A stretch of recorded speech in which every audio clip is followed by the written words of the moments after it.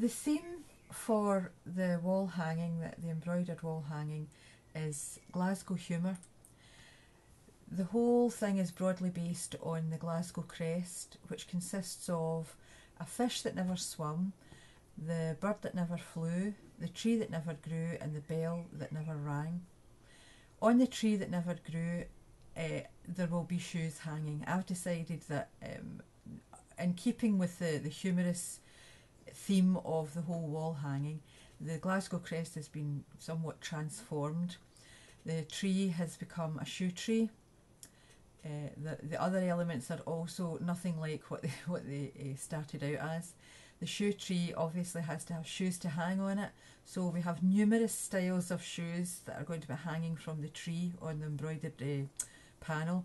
This one here is a flipper shoe, which is also a bit silly, which was quite in keeping with the theme of the whole thing.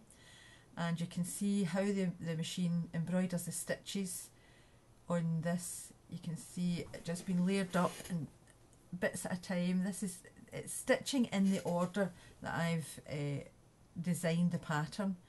Eventually, very very soon, we'll see the, the highlights coming on and the shoe will be complete. This is the second of the little videos that I've been putting on the Digital Renaissance blog and I hope you enjoy watching them. There you go, that's it completed.